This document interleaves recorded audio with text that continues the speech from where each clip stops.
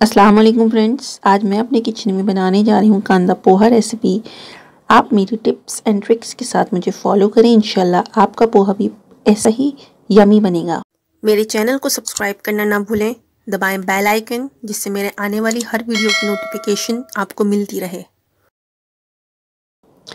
ये मैंने लिया है 200 ग्राम पोहा और मैं इसको धोऊँगी।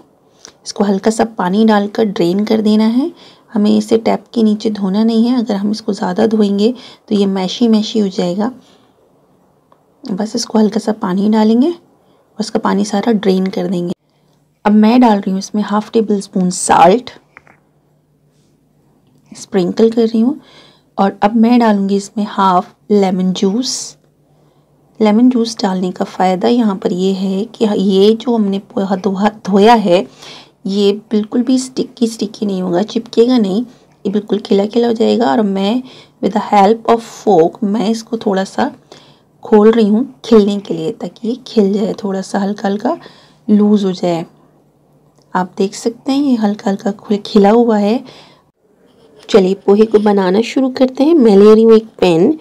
इस पैन के हल्की सी गर्म होती है मैं डालूँगी इसमें ऑयल दो टेबल स्पून ऑयल डालूँगी मैं इसमें। अब इस ऑयल को भी हल्का सा गर्म होने देते हैं। ऑयल के गर्म होते ही मैं डाल रही हूँ इसमें पीनट्स और पीनट्स को हम कर लेंगे शेलो फ्राई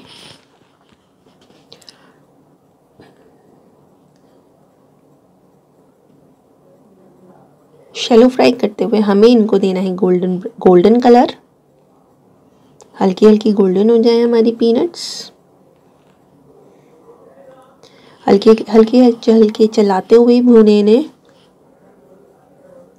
ये देखिए, आप गोल्डन कलर आ गया है इसमें, हमारी पीनट्स में। अब मैं इनको निकालूँगी एक बाउल में।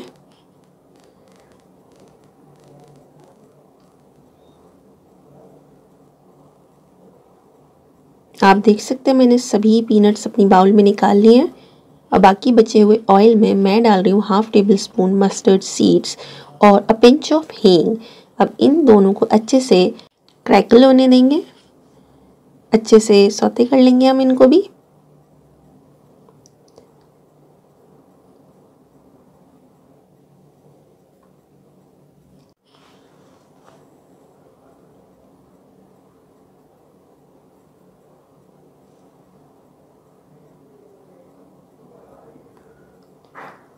हमारे मस्टर्ड सीड्स अच्छे से क्रैकल हो गए हैं। मैं डाल रही हूँ इसमें हाफ़ टेबल स्पून ज़ीरा।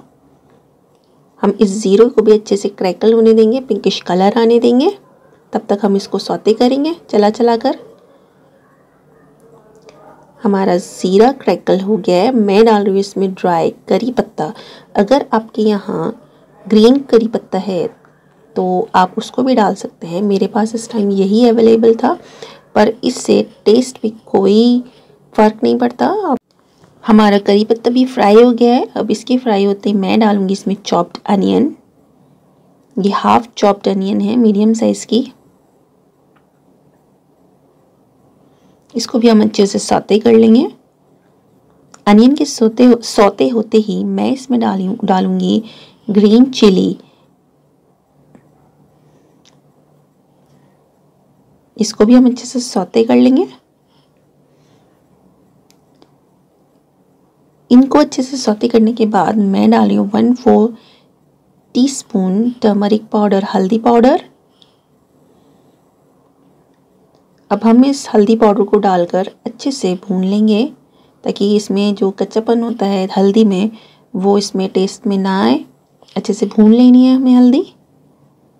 अब मैं हल्दी के होते ही मैं डाल रही हूँ इसमें पटेटो बॉयल आलू और हमारे ड्राई पीनट्स जो हमने फ्राई किए थे सबसे फ़र्स्ट इन सबको डालने के बाद last but not the least मैं डाल रही हूँ इसमें, में पोहा।